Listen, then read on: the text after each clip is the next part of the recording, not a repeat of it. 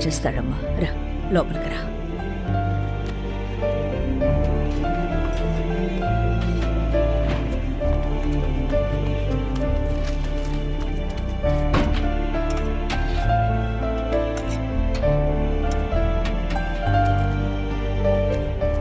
Sir మీకు మా నాన్న గురించి ఏమైనా? లేదు బాబు నాకేమీ తెలీదు. సరే సార్ వస్తాను. థ్యాంక్ యూ మా నాన్న గురించి అయ్యో నేను ఆ విషయంలో ఇన్వాల్వ్ కాదు బాబు. నాకేం తెలియదు నన్నే వడకు. సరే సార్ థ్యాంక్ యూ.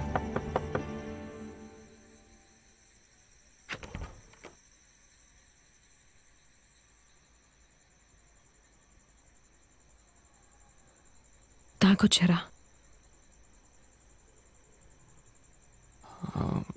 అవును అవును. క్షమించమ్మా. అమ్మా నువ్వు క్షమించమ్మా. నా వల్ల కావట్లేదు. అందుకే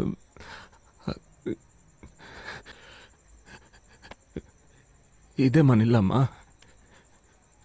ఇదే మన జీవితమా.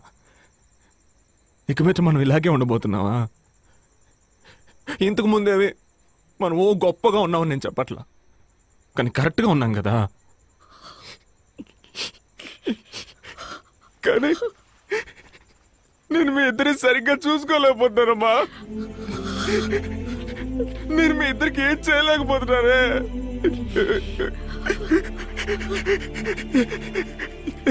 క్షమించమ్మా అమ్మా నువ్వు నన్ను క్షమించమ్మా. క్షమించండి. అమ్మా నా నాన్న గురించి ఎవరెవరినో ఏదేదో అడిగి చూశానమ్మా. ఎన్నో రకాలుగా ట్రై చేశానమ్మా. కానీ ఎవరికి తెలియదని చెప్తున్నారు. అందుకే నా మనసు తట్టుకోలా. తాగేశాను ఏమన్నా? ఏమన్నా? నా ప్రాణం ఏమన్నా? సరే. నా ప్రాణం? సరే. నీలాంటి వైఫ్ దొరకడానికి నేను పెట్టి పుట్టుండాలి నా పేరు భరత్. నాకు మా నాన్నే సర్వస్వం. ఆయన ఉన్నప్పుడు నేను చాలా సంతోషంగా ఉండేవాడిని నాన్న నేను ఈ మధ్య బియర్ కొడుతున్నాను. రోజు తాగుతున్నావా? లేదు వారానికి ఒకటి రెండు సార్లు అంతే. రోజు తాగకుండా ఉంటే సరి. మీరిలాంటి వెధవ సినిమాలు చూసి ఎందుకు పనికి రాకుండా పోతున్నారా? ఎంత ధైర్యం ఉంటే ఇలాంటి ఇంట్లోకి తీసుకొస్తారు. కొండి ఎక్కడి నుంచి తీసుకొచ్చారో? పోయి అక్కడే ఇచ్చి చావండి. సారీరా నా వల్లే పర్లేదు బావా ఆయన ఎన్ని చూసుంటాడు? అన్ని కరెక్ట్గా చూసి నేర్చుకోవాలి బావా ఒకటి మిస్ అయిపోతే? రారా వింటే టార్చర్ మామ ఈ మధ్య త్రీ లో కూడా వచ్చేట్రా రే బావా తొందరరా షో స్టార్ట్ అవుతుంది. నా లైఫ్లో మా నాన్న తర్వాత వీళ్ళిద్దరే నాకు ఎంతో ముఖ్యమైన వాళ్ళు. ఒకడు నా కజిన్ అరవింద్ ఇంకొకడు నా ఫ్రెండ్ కుమార్. రే అరవింద్ నిన్ననే కొత్త ఆవకాయ పెట్టానురా. నువ్వు ఇంటికి వెళ్ళేటప్పుడు జాడి ఇస్తాను తీసుకెళ్ళి వదిలికి పో. సాయంకాలం వచ్చి తీసుకుంటాలే. బైక్లో ట్రిపుల్స్ వెళ్ళొద్దంటే వినిపించుకుంటున్నారా?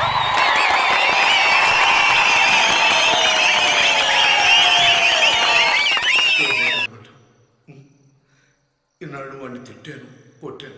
ఇప్పుడు ఉద్యోగం రాగానే ప్రేమగా మాట్లాడాను నాకు అలాంటి అమ్మాయే కావాలి మావా. రే నీకు ఆల్లీలని ప్రిఫరెన్స్ కూడా ఉందారా? ఆ. నాకెవరైనా ఓకే. బావా నువ్వు కాక మీద మాట్లాడుతున్నావు బావా? నేను లవ్ గురించి మాట్లాడుతున్నా. మన లైఫ్లో ఒక అమ్మాయి వచ్చి తను మనల్ని లవ్ చేసి మార్చి అదొక సెపరేట్ ఫీలింగ్ బావా. అయితే ఫిగర్ వస్తే మారిపోతావు అనమాట అసలు సిగ్గులే కూడా మారిపోతాను మావా. అర్థమైందిలే. నువ్వు ఫీల్ అయ్యే లాభం. ఈ కాలనీలో ఒక్క అనిత అయినా ఉందా? అందరూ రవిగాళ్ళే తిరుగుతున్నారు. రే టీవీ బెటర్ మ్యాచ్ స్టార్ట్ అయిపోద్ది. అమ్మ తాడానికి ఏంటమ్మా కుంటున్నావు? ఊడ్చినప్పుడు నడుము పట్టేసింది. పట్టేసేంత పని ఏం చేశారంటే? ముష్టి ఎదవా పోరాటు. అవుట్డేటెడ్ బూతులొద్దు కొత్తగా ఏమైనా తిట్టండి. రే భరత్ ఈ రోజు మీ నాన్నకి తిథి ప్రకారం పుట్టినరోజు. గుడికి వెళ్ళి అర్చన చేయించాలి. నా వల్ల కాదు నువ్వు వెళ్ళరా. అయ్యో గుటికా ఛాన్సే లేదు. నా వల్ల కదా నా ఇమేజ్ ఏం కావాలి? గుడికి వెళ్తే తమరి ఇమేజ్ తగ్గిపోతుందా? అమ్మా ఆటలాడుకమ్మా ఛాన్సే లేదు. ఎంతమంది నేను ముద్దు పప్పని ఎగతాలు చేశాను తెలుసమ్మా? బాలేదని కదరా అడుగుతున్నాను. మా మ్యాచ్ చూడాలమ్మా.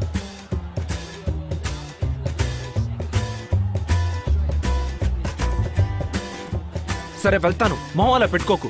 డ్రామాలు ఆడుకో. నాకు ప్రసాదానికి పది రూపాయలు అప్పుడే వెళ్తాను.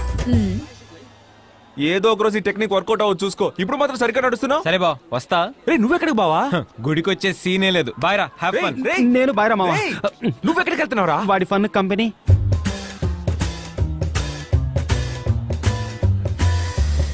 సరే సరే వస్తానులే. మొహం అలా పెట్టుకోకు. కానీ ఏదో ఓ రోజు ఈ టెక్నిక్ వర్కౌట్ అవ్వదు చూసుకో. అప్పుడు చూసుకుందాం మావా. త్వరగా వచ్చేయ్. జాగ్రత్త. దేవుని ఏమడుగుతున్నావు? లేదు జస్ట్ పోస్ నువ్వు? Mobile phone car figures. ఆ. మావా అచ్చి పూజారి. ఆ, అదే ఆయనే. అర్చన అండి? ఆ, అవును. మా నాన్న పేరు మీద అర్చించేయండి పేరు? మా నాన్న పేరు విజయ రాఘవులు రాశి నక్షత్రం? తెలీదు. ఎరా నీకు నీ బాబు రాశి నక్షత్రం కూడా తెలీదా? తెలీదు మావా నీకు? ఛీ పర్లేదు మావా. ఈ గుడికి ఒక రేంజ్ డీసెంట్ ఫిగర్స్ వస్తున్నారు. రావచ్చు కానీ నా ఫిగర్ ఎవరో నీ ఫిక్స్ అయిపోయా. ఎవర్రా? అదిగో తనే నా హీరోయిన్. హే తను రేవతి మా కాలనీలోనే ఉంటుంది. తెలుసురా నేను ఎందుకు రెగ్యులర్గా నీ కాలనీకి వస్తున్నాను? నీకోసం అనుకున్నావా? అమ్మని. హే తను పడదు మావా. ఎవరితోనూ సరిగ్గా మాట్లాడదు. పిచ్చ అరగంటు ఈ అమ్మాయి ఇలాంటిదైతే నెక్స్ట్ లెవెల్ ఫిక్స్ అయిపోయాను రా అదెవరు? బ్యాక్ లుక్ ఇచ్చుకో. అయితే నా ఫస్ట్ ఫిక్స్ ఏంటి? హీరోయిన్ ఫ్రెండా? నా సెవెన్ జీ బృందావన కాలనీ అంతా నాకు దొరికేసిందిరా? మావా నీకే తెలుసు కదా నువ్వు కామెడీ అని అర్జుడు అర్జుడు అర్జుడు ఆ అమ్మాయిని పడగొట్టాక చెప్తాను రా ఎవరు కమిడియనో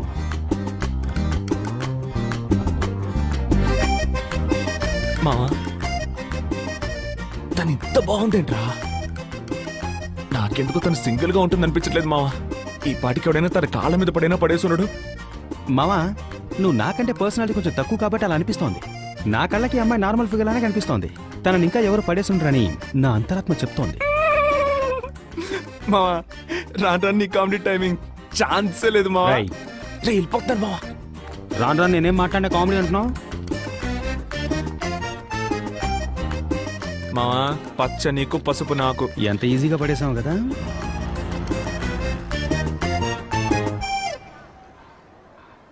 ఈ విషయం అరవింద్కి తెలియనివ్వద్దు. ఎందుకంటే? ఆడికి మన ఇద్దరికంటే పర్సనాలిటీ ఎక్కువ. మ్, పాపం కదా. మరి వాళ్ళ ఇంట్లో ఎక్కడ పరా గుడికమ్మా. కోడిక ఏమైంది వీడికి? ఎక్కడికి వెళ్తున్నావు? ఫ్యాన్సీ స్టోర్కి ఎందుకు? ఇంకు బాటిల్ కొనడానికి. నేను వస్తా. అవసరం లేదు. నైట్ మొత్తం ఆలోచించాను. నాకు ఆ రేవతి ఓకే. ఆ తెల్లపిల్ల నువ్వే ఉంచుకో. ఇప్పుడు చెప్పు. ఎక్కడికి వెళ్తున్నావు? గుడికి వెళ్తున్నా. నువ్వు రావట్లా? మా ఏ నమ్మకంతో ఈ రోజు తన అదే టైంకి గుడికి వస్తున్నావు నువ్వు నమ్మొచ్చావురా? ఆ రేవతి మామూలుగా ఈ టైంకి గుడికి వస్తుంది మావా జస్ట్ సింపుల్ మ్యాథ్ ఈ తొక్కలో లెక్కలకేం తక్కువ లేదు. రే కట్ చేయడం అని ఎందుకురా భారీ పదాలు వాడతావు? ఆడు ప్రతిదీ వాళ్ళ అమ్మకి చెప్తాడరా. వాళ్ళ అమ్మ వచ్చి మా అమ్మకి చెప్పి మా అమ్మ మా నాన్నకి చెప్పి మా నాన్న వచ్చి నాకు తలంటే ఎందుకే నాసా? తినేటప్పుడు తిండి మీద ధ్యాస ఉండాలి. ఏరా భరత్ ఆ, రోజు గుడికి వెళ్తున్నావుట మీ అమ్మ చెప్తోంది. ఏంటిది? చపాతి రోజు గుడికి వెళ్తున్నాడా ఏ నీకు తెలీదా? నీకు తెలియకుండా వాడు ఏ పని చేయడే. అదే కదా. నాకు తెలియకుండా ఏ పని చేయడే. ఏదైతేనే మంచి పనే కదా.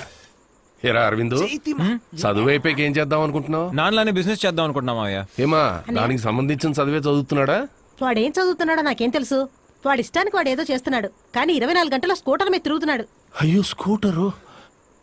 ఆఫీస్ స్కూటర్లో వెళ్ళి బస్సులో ఇంటికి తిరిగి వచ్చాను. ఏమిటండి ఇది? మీరు మీ మతి మరి ఎందుకు నాన్న ఇలా చేస్తున్నావు? డాక్టర్ దగ్గరికి వెళ్ళమంటే వెళ్ళట్లేదు రాను రాను నీకు మతి మరపు ఎక్కువైపోయింది. ఒరే నువ్వు అరవింద్ కొంచెం ఆఫీస్ వరకు వెళ్ళి స్కూటర్ తీసుకొచ్చాను రా. అంత సీన్ లేదు నేను చదువుకోవాలి. ఒక హాఫ్ అన్ అవర్ అవుతుంది. ప్లీజ్ వెళ్ళి తీసుకొచ్చేయండి రా.